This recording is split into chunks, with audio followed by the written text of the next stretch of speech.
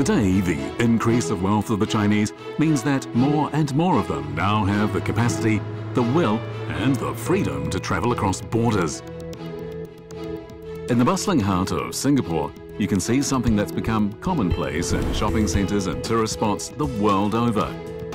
Chinese shoppers.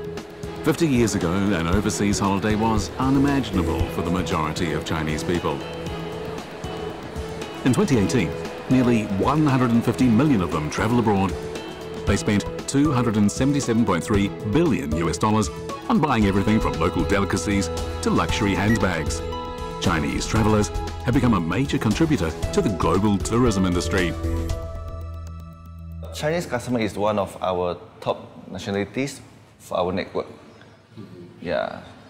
So their buying power is quite strong. Every year you get all the China tourists coming in, Chinese New Year and July, August. And those are my biggest customers.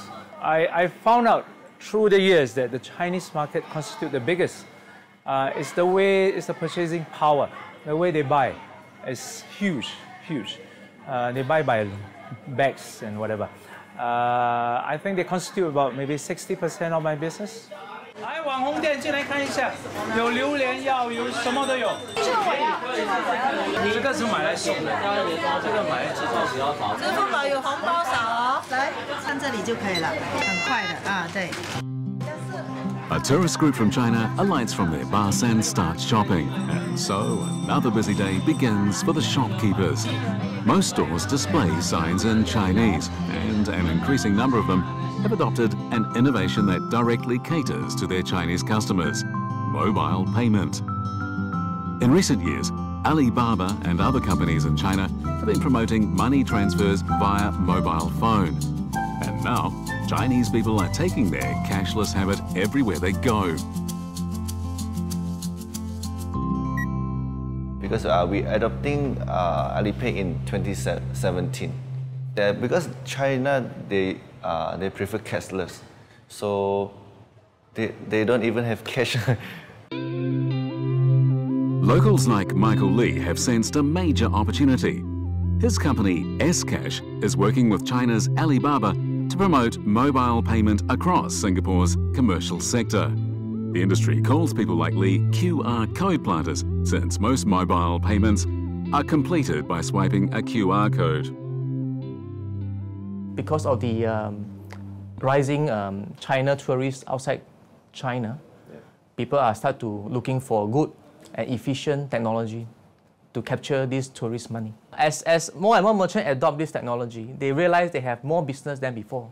In fact, some merchants um, even told us that their, their sales increased by at least 50% ever since they adopt, because now they have a new, new, new stream of customer.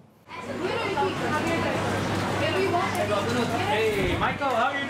How things for you? Good, good. Yeah. Is, everything all right for you? Very good. I'm huh? very happy. How's, I, I see the business has been uh, doing very well. Yes, ever since you gave me this this machine. Uh, uh-huh. Oh, very fun. uh, very good, very good. It's a money sucking machine, man. Uh. Money sucking machine. It's definitely a necessity. Uh, everyone from China, the younger generations, come in and use Alipay like part of the way of life. It's their way of life. And if you don't have it, you, you are not part of their way of life. Simple as that. He now has over a thousand clients in Singapore. Mobile payment is still a relative novelty here, and Lee is working hard to convince shop owners to adopt the technology. But he believes others will soon come on board as more and more Chinese tourists arrive. From 1995 to 2018, the number of Chinese outbound travellers grew by 17% a year on average, and it's been the biggest outbound travel market since 2014.